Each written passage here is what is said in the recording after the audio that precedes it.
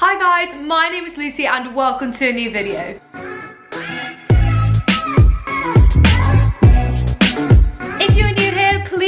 Subscribe. I would love to have you come back for more of my videos. And if you do enjoy this video, please do smash a big thumbs up to let me know. For today's video, I'm doing a video that was requested a while ago. I did actually film it and then I never uploaded it because I got scared. And today I thought, you know what, I'm just gonna do it. And that is a video on vocal health. I want to give a massive disclaimer at the start of this video. Disclaimer, disclaimer now. I am not a professional singer. I'm not a professional when it comes to vocal health. I am just a student that sings and I like to think, touch wood, I have quite good vocal health. And I just wanted to share with you guys tips that I've been given over the years, things that I've found that have helped me, and things that could hopefully help you. Do not take my opinion as gospel. Please listen to your singing teacher. Please listen to professionals. If you have proper vocal health problems, please go to a professional. Please go and get professional help from someone who is qualified.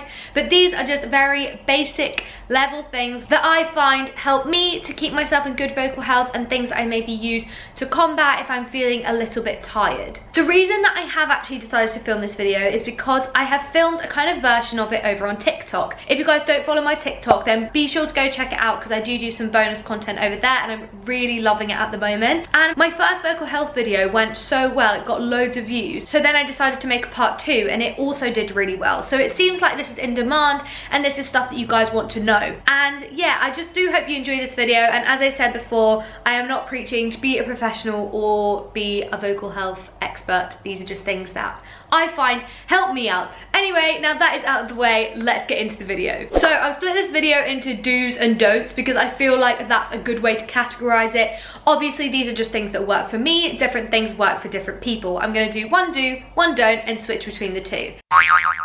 The first do I think is quite self-explanatory, but I forget about it a lot and I know a lot of my friends do as well, and that is just that hydration is the most important thing for your voice. I was once told it takes four hours from drinking water for it to actually hydrate your vocal folds effectively. Often when you drink water at first, you feel like it's hydrated, but it really doesn't happen that instantly. You need to be drinking water throughout the day constantly as much as you can. And I know when you start drinking loads of water at first you'll feel like you're peeing 402 times a day but I promise that it does improve and if you just slowly build up how much water you drink in a day it really does make a difference. Hydration is obviously not just good for your vocal health it's good for your general health and well-being. And if you have an audition the next day or something make sure you drink a lot the night before because you want your voice to hydrate overnight. There's no point waking up and drinking loads of water an hour before your audition because as I said, apparently it takes four hours for it to hydrate your vocal folds.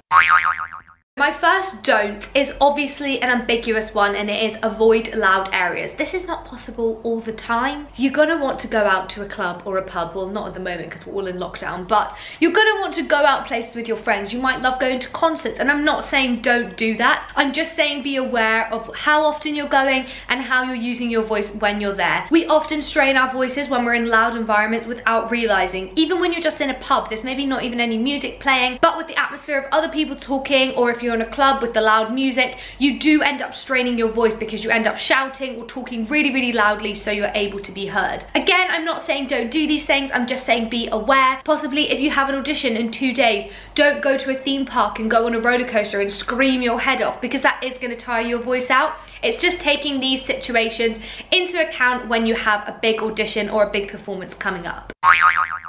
My second do is have a regular sleep pattern. Again, quite like hydration, this is good for general health as well as vocal health, but a good sleep pattern just means that you are well rested. Your voice, just like your brain and the rest of your body, needs rest, and if you have regular sleep, it is honestly just so much better for your general health, and if your general health is up, then your vocal health will be up with that as well. I personally need eight to nine hours of sleep a night, so I often go to bed quite early because I like to get up early. I just often feel once I've had that amount of sleep, my body is really ready for a new day. My second don't is to try and avoid dry spaces and by this I mean air conditioned spaces. I am the worst culprit of this. When I'm at home in Dubai it's so hot and I always have my AC on so cold when I sleep and it's so bad for my voice. When I wake up in the morning my speaking voice is so crackly and gross because my voice is literally as dry as the Sahara Desert. The aircon literally strips out any moisture in the air and really if you can avoid it where possible do if you can sleep without it on. When it's 40 degrees, it's not really possible. But if there is a chance that you could sleep with a fan on instead, it's just so much better. Or if you are in an air conditioned space constantly, then a humidifier is really good. You can pick them up on Amazon. I actually used to have one. I don't know where it is now but I should probably try and find it because it just puts some of that moisture back in the air and as I said hydration is so good for your voice so you don't want the aircon stripping all that hydration out.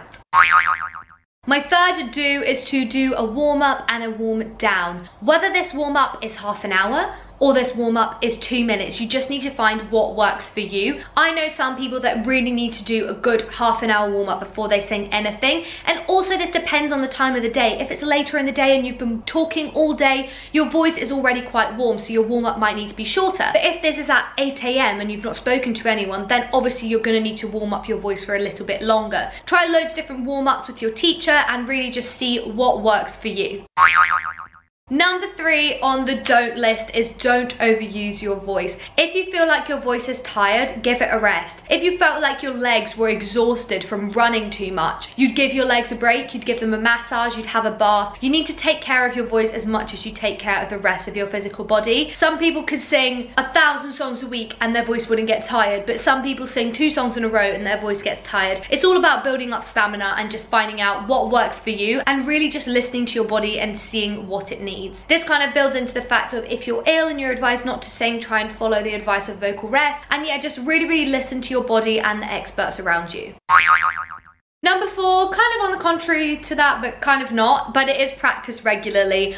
Always practice makes perfect and I truly believe this, although I don't think there ever is perfect, but the more you practice something, the better you're going to get at it. This is everything from your warm-ups, from singing the songs, from technique, everything. You just need to practice as much as you possibly can and honestly, you will see such great improvements. You'll see improvements in your stamina, in your technique, in everything. Every aspect that you practice, you will improve. Singing is just like ballet, it's just like tap, it's just like running. The more you practice it, the better you're gonna get at it. Number four on the don't list is actually to avoid alcohol where possible. Obviously, I'm not saying don't drink if you're of age and you want to have a drink, go for it. But alcohol is really, really dehydrating for the voice. I'm not saying that I don't drink, I do drink sometimes, but I'm not a huge drinker. Nothing to do with vocal health, just I don't really like the way it tastes. But again, if you have something important coming up, maybe in the next couple of days, try not to drink loads of alcohol because alcohol is super dehydrating for the voice. And also often in environments where you're drinking alcohol it's like a club or a bar or a pub. Again these are loud environments as I said before. So it's just trying to think ahead as to what you've got coming up and how you can take best care of your voice Number five on the do list and the final one is to allow yourself to have time off. Don't just allow yourself to have time off when your voice is tired or when you're ill. Allow yourself to have time off just because you're allowed to give yourself time off and you can't practice every second of every day. And it's really important, I think, to have time off to reflect on what you've done and what you've learned and what you've improved on. I've really been enjoying taking lockdown to take time and think back on the last one and a half, two years of training on what I've improved on in my voice and what I would like to improve on during the next couple of weeks. I think it's really good to sit down and make these kind of goals because a lot of the time, a lot of us can just sing a song and be like, cool, I've just sung it. I've done it. But we can really take this time to reflect on what we've learned and what we want to improve on in the future. And finally, on my don't list is posture.